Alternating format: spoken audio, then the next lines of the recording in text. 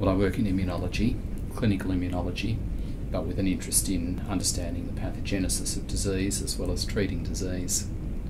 So, we have a Department of Clinical Immunology here at the hospital where we investigate, manage, treat patients with spectrum of immune mediated diseases, things like autoimmune diseases, lupus, as well as immune deficiency diseases and allergies.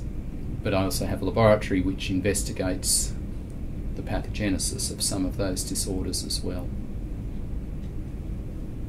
I trained as a medico and having worked as a resident for a couple of years, then decided what specialty of internal medicine I was going to concentrate on and made a decision to work in immunology at that time because I suppose a couple of reasons. One was um, was intrinsically interested in the subject.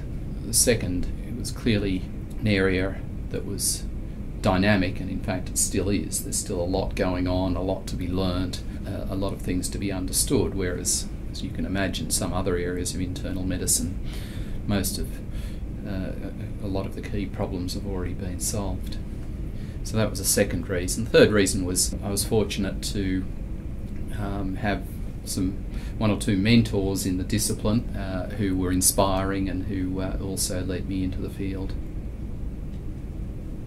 It's exciting for me um, being here in Canberra working with colleagues um, here at the hospital and at the John Curtin School because I think we have a very nice setup now, uh, critical mass of researchers, the infrastructure, access to both models and, uh, material from patients who suffer with these diseases to really crack on and, and um, make some significant progress in understanding some of these diseases.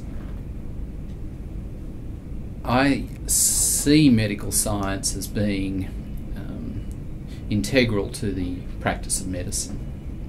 And I think that it, it's that way because we still have so much to learn about disease. You know, there's no doubt that people are much better off now than they were 100 years ago or longer ago in terms of prognosis from a whole range of diseases.